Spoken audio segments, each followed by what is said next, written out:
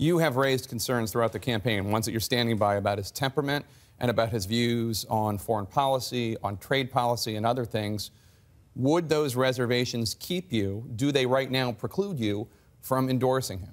Well, I've set out, I've signed a pledge that said I'd support the Republican nominee, and I intend to continue to do that. But we're, look, here's a situation that we're in. On the one hand, uh, the Demo- I don't want Hillary Clinton to be the president of the United States.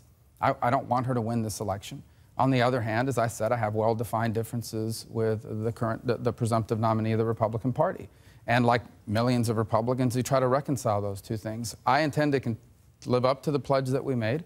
But that said, it, it, I, these uh, concerns that I have about policy, they remain and they're there. But, you know, I, I, uh, that doesn't mean that uh, Donald needs to change his positions in order to get my support or what have you. As I said earlier today, I think he should be true to what he believes in and continue to campaign on those things and, and make his case to the American people.